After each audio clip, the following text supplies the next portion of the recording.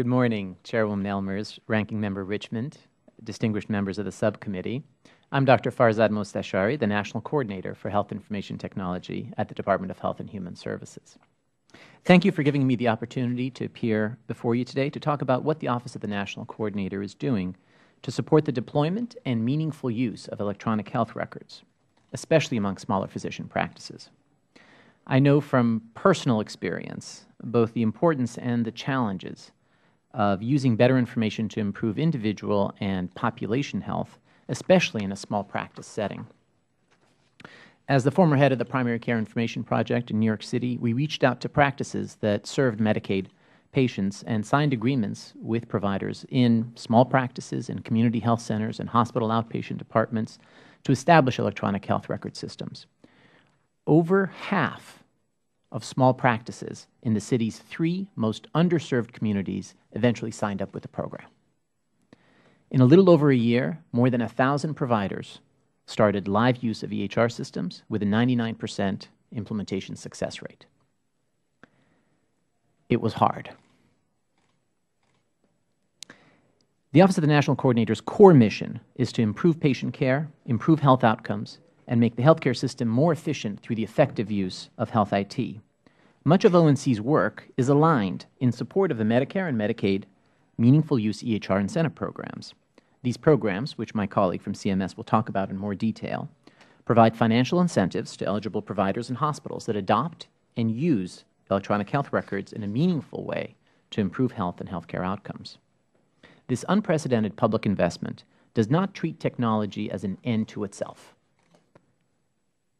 Rather, it will result in concrete progress towards our policy objectives, measurable improvements in health and reduction in cost. I'd be happy to talk about all the ways that ONC is supporting this transformation in healthcare. But in the interest of time today, I'll highlight some of our major initiatives. ONC is at the center of efforts to establish standards for EHR systems and let providers and the public know which EHR systems are meeting these standards.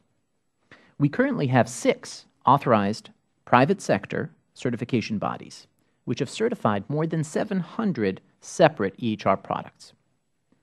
This is indicative of the development of innovative EHR products that are less expensive and easier to implement for small practices than ever before. Of note, 60 percent of the vendors of these systems are small businesses with fewer than 50 employees. Our Regional Extension Center program, inspired by the Agricultural Extension Center program, supports a network of 62 state and local organizations that offer training, information, project management, and technical assistance to providers in order to ease and accelerate the adoption and meaningful use of EHR technology, particularly by primary care providers, small practices, critical access hospitals, and other underserved or under-resourced providers. The Regional Extension Center program has enrolled more than 70,000 providers, 94 percent of whom are primary care providers, and about half are an individual or consortia of small practices. ONC's Health Information Exchange Program is helping build the infrastructure for sending and receiving electronic health information securely across the nation's healthcare system with a focus of simple but secure technologies that can be used by all providers to improve coordination of care, whether they care for patients in small practices, urban clinics, or rural hospitals.